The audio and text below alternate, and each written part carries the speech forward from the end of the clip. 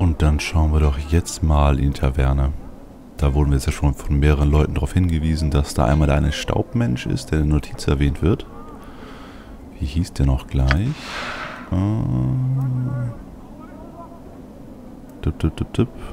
Wir sollen herausfinden, wo Ferret die Leichen her hat. Also, eigentlich ist die Notiz hier an den Spion in der Leichenhalle. Aber so finden wir vielleicht heraus, welcher Vereinigung der Spion angehört. Und der Spion wurde losgeschickt, den eingeweihten Emorik zu suchen. In der Bar zum Staubfänger. Und der Staubfänger war direkt gegenüber von der Anschlagsäule. Erledigt. Also hier? Ja, da ist die Anschlagsäule. Müsste das die Bar weg. sein.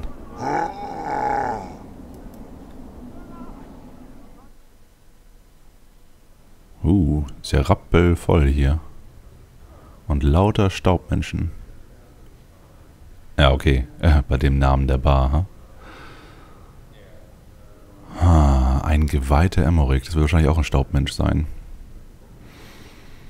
Na gut, gehen wir mal alle durch, die ein wenig anders aussehen. Den Tod erwartend. Vor dir steht ein junger Staubmensch mit Stoppeln auf dem Kinn und dunklen Ringen unter den Augen. Er starrt mit ernster Miene an die Wand. Seid gegrüßt. Der Staubmensch sieht auf. Er starrt geradeaus, als ob er etwas weit, weit hinter den Wänden der Bar sehen könnte. Hm, der scheint nicht wirklich mit uns reden zu wollen, aber versuchen wir es trotzdem. Kann ich dich vielleicht etwas fragen? Der Staubmensch antwortet nicht. Er starrt weiter in die Ferne. Hm, also gut. Mord zischt dich an. Gehen wir, Meister. Dieser Staubi könnte genauso gut Wurmfutter sein. Das ist nur gerecht. Verschwinden wir von hier. Als du dich zum Gehen umdrehst, spricht der Staubmensch plötzlich mit einer kaum wahrzunehmenden murmelnden Stimme. Du musst dich anstrengen, um die Worte zu hören. Du glaubst, dass er etwas über jemanden gesagt hat, der sterben möchte. Äh, droht er uns gerade? Äh, was hast du gesagt? Der Gesichtsausdruck des Jungen ist unbeweglich. Möchtest du sterben? Ähm, Gute Frage eigentlich, da wir unsterblich sind und äh, verflucht sind. Aber nein, eigentlich nicht. Eigentlich wollen wir erstmal rausfinden, was mit uns passiert ist. Also sagen wir die Wahrheit. Nein. Du etwa? Ja. Er sieht dich prüfend an. Warum möchtest du leben? Warum möchten wir leben? Ja, halt um herauszufinden, was mit uns passiert ist. Aber das können wir ihm nicht sagen. Obwohl wir können vage bleiben, wie die Antwort hier. Also Wahrheit? Ich brauche noch Antworten auf bestimmte Fragen, bevor ich bereit bin, mich vom Leben zu verabschieden. Ich möchte herausfinden, wer ich bin. Das klingt jetzt ein klein wenig esoterisch. Hm? Der Staubmensch hört dir stumm zu. Als du fertig gesprochen hast, antwortet er nicht, sondern sieht dich nur an. Er sieht aus, als ob er nachdenkt. Willst du sterben? Fragst du deshalb? Ja, sehr einsilbig, der Kerl. Mm, und uns interessiert eigentlich auch nicht wirklich, warum er sterben will. Aber vielleicht bringt er sich ja um und hat irgendwas für uns dabei. Ha. Warum hast du dich denn noch nicht umgebracht? Ich habe nicht nach einem Weg umgesehen, um mein Leben zu beenden. Wirst du mich töten? ha. Wenn du so fragst. Schwer zu sagen. Wie viel? Er wirft einen kleinen Beutel auf den Tisch. In diesem Beutel ist alles, was ich habe. 50 Kupfermünzen. Töte mich und sie gehören dir. Das ist echt ein komischer Kauz. Und was werden die anderen Staubmenschen machen, wenn ich plötzlich einen von ihnen niederschlage? Hm. Na gut, das werden wir sehen. Wir sind unsterblich, wir haben nicht wirklich viel äh, Konsequenzen zu fürchten.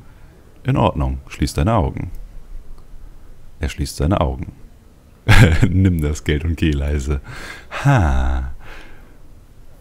Ähm, mm, mm, mm. Nee, er würde einen Aufstand machen. Er will sterben. Sie hier wird es gehört haben, dass er sterben will. Also legen wir unsere Hände um seinen Hals und erwürgen ihn. Du legst deine Hände um seinen Hals und drückst langsam zu. Er schnappt erstickend nach Luft und seine Augen öffnen sich weit. Mit einem bitteren Ausdruck beginnt er, an deinen Händen zu zerren. Hm. Hast es dir anders überlegt, ha? Ähm, na gut, lassen wir ihn los.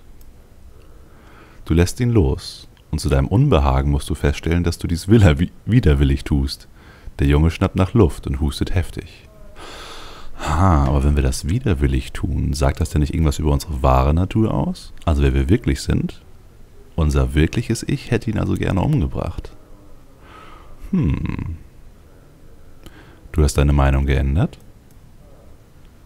Der Junge nickt schwach. Hör zu, wenn du das nächste Mal sterben willst, dann solltest du dir lieber todsicher sein, weil der nächste Typ vielleicht nicht aufhört, wenn du ihn darum bittest. Und jetzt hör auf, um das Leben zu jammern, wenn du es doch ganz eindeutig noch nicht aufgeben willst. Der Junge sieht dich einen Moment lang stumm an, dann nickt er langsam und reibt sich den Hals. Äh, ich behalte das Geld als Lohn für die Lehre. Der Junge nickt nochmals und kommt schließlich wieder zu Atem. Also gut, danke, Herr dass ihr mir eine neue Perspektive eröffnet habt. Bedank dich nicht, sondern lebe. Es beleidigt die Toten, wenn du das Leben so missachtest. Leb wohl. Echt komische Typen hier. Es wird eine ganze Weile dauern, bis wir mit jedem hier gesprochen haben. Aber wollen wir das überhaupt? Suchen wir erstmal diesen Emmerich.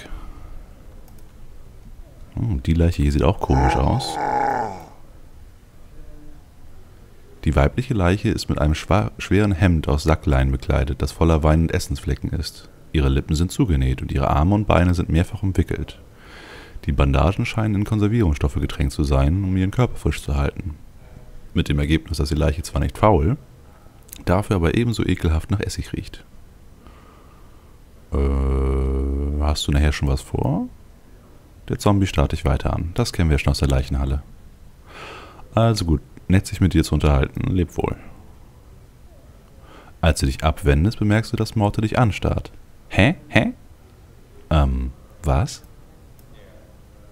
Hast du gesehen, wie diese leichenstarre Schönheit mich angeschaut hat? Ach nö, nicht schon wieder. Mortes Zähnchen fangen wie in freudiger Erwartung an zu klappern. Sie hat nach irgendeinem Schleifer gesucht, der die Kälte aus ihrem Sarg vertreibt. Nun fang bitte nicht schon wieder damit an. Morte ignoriert dich und wird nachdenklich. Ich habe eigentlich nichts gegen Aufmerksamkeiten. Es ist nur so, dass ich mehr als nur ein Totenschädel angesehen werden möchte, verstehst du? Ich habe Gefühle, die über meine einfachen animalischen Instinkte hinausgehen. Ich möchte umworben werden und keine kurze Affäre im Mausoleum. Ah. Morte, du bist nun mal ein Totenschädel und keiner kann es verhindern, dich als Totenschädel zu sehen. Akzeptier es einfach. Ja, ich bin vielleicht nur ein Totenschädel, aber ich habe ein großes Herz. Naja, eigentlich hast du gar keins. Was? Bist du in mein Leben geplatzt, um auf meine Träume und Hoffnungen zu spucken? Gut, dann soll es wohl so sein. Ich habe zwar kein Herz, dafür aber eine Seele. Ho, ho, ho, jetzt fährst du die großen Geschütze auf, hm? Nun, ehrlich gesagt wette ich, dass du... Ach, vergiss es, lass uns gehen. Ja, ob er eine Seele hat? Ich meine, er ist ein untoter, fliegender Schädel. Hat sowas noch eine Seele? Hm. Und haben wir eine? Naja, wahrscheinlich, wenn wir uns an die ganzen Dinge erinnern und unsterblich sind. Hm, Garant dürfte das nicht sein. Aber gut, weniger philosophieren, mehr Emmerich suchen. Du siehst einen kräftig gebauten Mann mit dunkler Haut und strengen Gesichtszügen. Er trägt eine Staubmenschenrobe und schaut dich mit steinernem Blick an. Seid gegrüßt.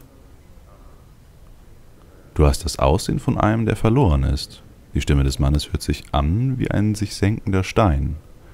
Hat der Wind dich gesandt oder bist du mit einem Ziel hier? Naja, unser Ziel ist, ihn auszuspionieren. Über Ferret. Aber das können wir so direkt natürlich nicht sagen. Fragen wir einfach mal, wer er ist. Ich bin Emmerich Faktotum und Eingeweihter vier, des vierten Kreises. Ähm, vierter Kreis, wovon? Ist das hier deine Bar? Wenn du Besitztum in Kupfer misst, ist dies nicht mein Etablissement. Wenn du Besitztum im Geist misst, gehört es mir. Er hält kurz inne, als ob er versucht, seine Worte zu betonen. Die Staubmenschen hier sind meine Schüler. Sie stehen unter meinem Schutz. Ha. Ist er einer der hochgestellten bei den Staubmenschen, hm? Was macht er denn in der Bar? Kann ich dich mal was fragen? Emmerich wartet. Also, wir können ihn fragen, ob das seine Bar ist. Das haben wir schon. Wir können ihn mehr über die Staubmenschen ausfragen. Das interessiert uns nicht wirklich. Wir könnten uns dem Bund der Staubmenschen anschließen. Hm. Nee. Erstmal sollten wir uns keinem Bund anschließen. Nach dem Journal könnten wir fragen, aber er wird nichts über ein Journal wissen. Davon gibt es bestimmt hundert oder tausende hier. Also einfache Bücher halt. Also fragen wir ihn mal nach Ferret. Ich suche nach einem Mann namens Ferret. Hast du ihn gesehen? Ich möchte wissen, warum du den Sammler Ferret suchst. Es wird langsam gefährlich, hm? Ähm. Hm, warum? Stimmt was nicht? Der Sammler Ferret hat mir in letzter Zeit viele Leichen zur Leichenhalle gebracht. Man muss fragen, woher diese Leichen kommen.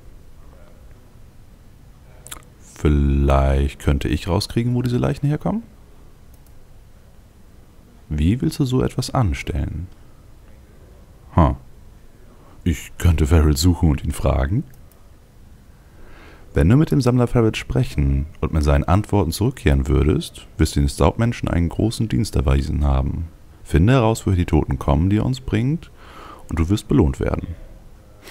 Hm, na gut. Ich werde Farrell suchen, mit ihm sprechen und rauskriegen, wo die Leichen herkommen, die er euch bringt. Emmerich nickt. Dein Weg ist unser Weg. Komm hier zurück, wenn du deine Antworten des Sammlers Ferret hast. Jetzt könnten wir ihn fragen, wo Ferret ist, aber ähm, wenn er das wüsste, hätte er bestimmt schon jemand anderen geschickt, oder?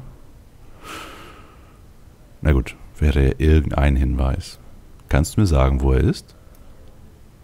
Es ist mir nicht bekannt, wo der Sammler Ferret ist. Er verbirgt sich vor den Augen der Staubmenschen. Ich würde andere Sammler aufsuchen und ihnen deine Frage stellen. Ja, das macht Sinn. Und wir haben ja schon gehört, dass er auf dem Lumpensammlerplatz sein soll. Also könnten wir uns da umhören. Was macht ein Skelett hier? Das ist auch nur eine Aushilfe, hm?